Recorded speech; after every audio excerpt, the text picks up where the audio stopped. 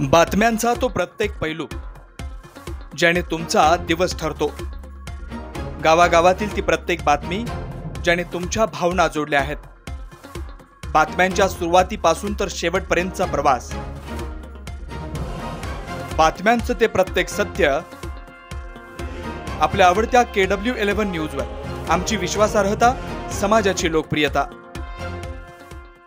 दिनांक तीस बारा दोन हजार तेवीस रोजी डीवायएसपी संदीप मेटके यांना गुप्त बातमी मिळाली होती की कोपरगाव येथील साई कॉर्नर जवळ नगरपालिकेच्या गाळ्यामध्ये साई गंगा मोटर गॅरेजमध्ये मनोज गिरमे हा इसम चारचाकी वाहनांमध्ये अवैध गॅस सिलेंडर रिफिलिंग करत आहे. अशी खात्रीशीर माहिती मिळाल्यानं कोपरगाव येथील तहसीलदार यांना कळवून संयुक्त कारवाई करण्याकरता माहिती दिली असता त्यांनी तहसील कार्यालयातील पुरवठा निरीक्षक महादेव कुंभारे यांना संयुक्त कारवाई करण्याकरता पाठवलं.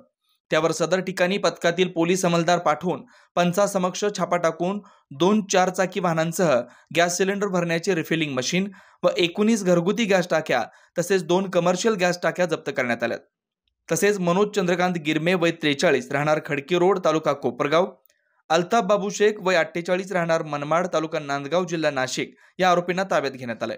आरोपींच्या ताब्यातून चारचाकी वाहने गॅस टाक्या मशीन असा एकूण चार लाख सहासष्ट हजार एकशे चाळीस रुपये किमतीचा मुद्देमाल जप्त करण्यात आलाय.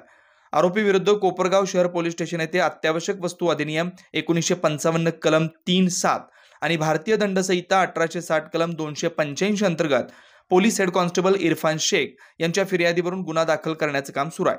या कारवाईमुळे कोपरगाव तालुका परिसरातील अवैध धंदे करणाऱ्यांचे धाबेदान आणलेत सदरची कारवाई राकेश ओला पोलीस अधीक्षक अहमदनगर स्वाती भोर अप्पर पोलीस अधीक्षक श्रीरामपूर यांच्या मार्गदर्शनाखाली DYSP Sandeep Mitke P I Pradeep Deshmukh P S I Bharat Date पुरवठा निरीक्षक महादेव कुंभारे इरफान शेख अशोक शिंदे श्याम जाधव गणेश काकडे तावरे ज्ञानेश्वर गांगुर्डे यांनी केले.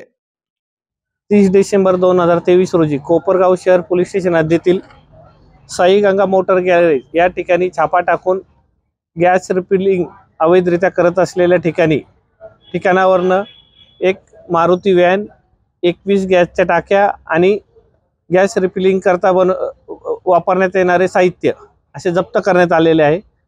सदर कारवाई करता पुरवठा निरीक्षक महादेव कुंभार यांचे सहाय्य घेण्यात आलेले आहे.